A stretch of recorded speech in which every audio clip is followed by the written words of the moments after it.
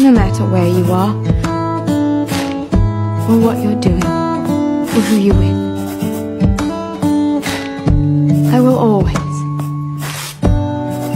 honestly, truly, completely